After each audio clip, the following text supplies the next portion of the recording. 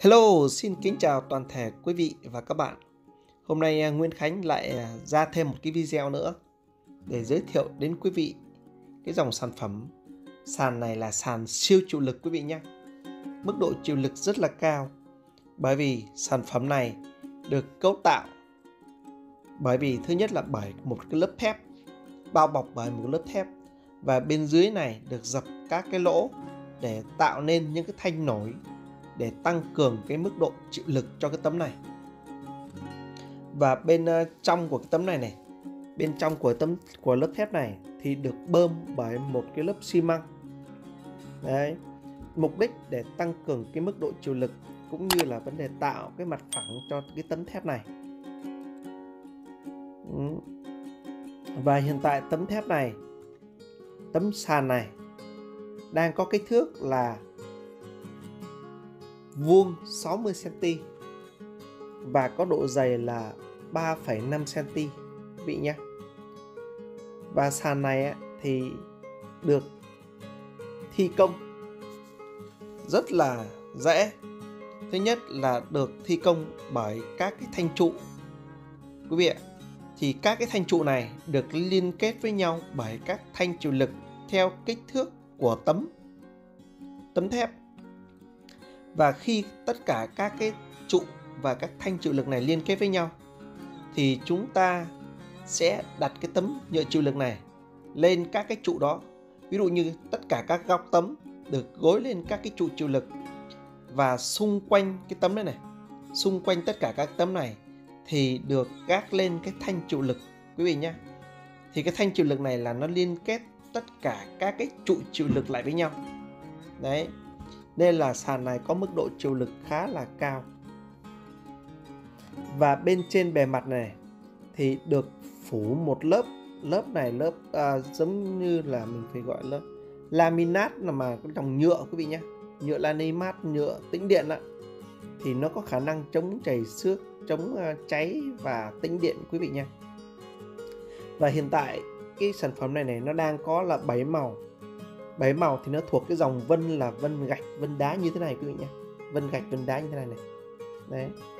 Thì sàn này ấy, là thường thường ấy, là người ta hay sử dụng cho các phòng máy phòng à, IT hay là các ngân hàng.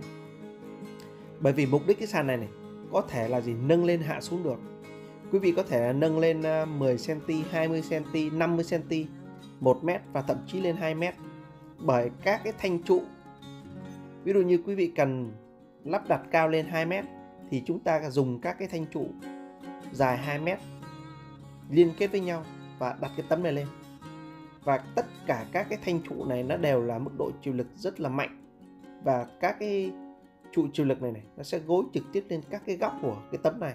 Nên sàn này được mệnh danh là một trong những sàn chịu lực rất là tốt và được các cái phòng máy hay là các cái phòng kỹ thuật sử dụng rất là nhiều và bên dưới các cái tấm này này thì nó có khi mà mình thi công xong á thì nó có một cái khoảng trống.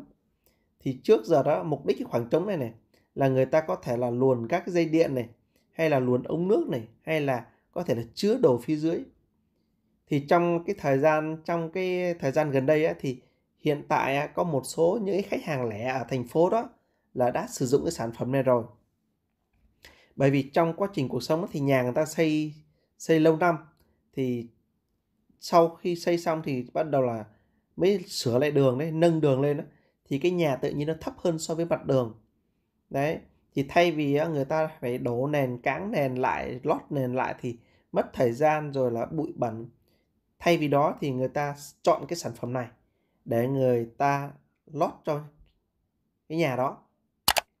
Và đặc biệt sau khi lót xong thì mình có thể là sử dụng kê bàn ghế đồ đoàn nặng lên sử dụng bình thường xe Honda hoặc xe có trọng lượng lớn vẫn đi vào bình thường quý vị nhé. Đấy. Và phần dưới của cái cái cái cái sàn á, thì nó có khoảng trống. Thì những cái sản phẩm những cái đồ dùng nào lâu năm á, mà mình không sử dụng á, thì mình có thể là chứa ở phía dưới. Nó thuận tiện là chứa ở phía dưới. Và sau này mình thích ấy, mình rất mình nhấc từng cái tấm sàn này lên rồi mình lấy những cái sản phẩm mình ra có thể mình lại tái sử dụng được đấy thì phòng cái sản phẩm này trước giờ là dành cho các phòng máy đó và phòng IT phòng kỹ thuật các ngân hàng đó sử dụng rất là nhiều Đấy, nhưng mà bây giờ thì, người dân mình cũng sử dụng khá là nhiều rồi. Thì đây là một trong sản phẩm khá là hay thì mình chia sẻ đến toàn thể quý vị để quý vị nắm bắt. Quý vị cả nào cảm thấy hay hãy nhớ cho mình một nút like và nhớ chia sẻ bài cũng như là hãy theo dõi kênh để mình cập nhật những sản phẩm mới nhất nha quý vị. Cảm ơn quý vị đã dành thời gian để xem video. Xin chào và hẹn gặp lại quý vị ở những video mới nhất. Xin cảm ơn quý vị rất nhiều. Xin chào.